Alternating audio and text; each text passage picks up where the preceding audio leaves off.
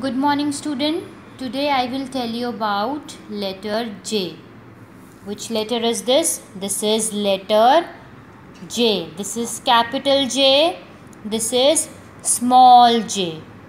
Capital J. This is small c. And what is the phonic sound of J? J.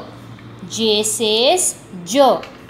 J says J. What is this? This is a jeep. J for jeep. What is this? This is a joker. J for joker. What is this? This is a jacket. J for jacket. What is this? This is a jug. J for jug. What is this? This is a jelly. J for jelly. Which letter is this? J. Capital J. Small j. J says J.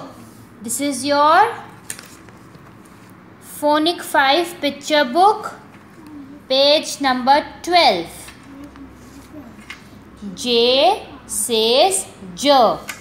Jeep joker, jug, jacket, jelly.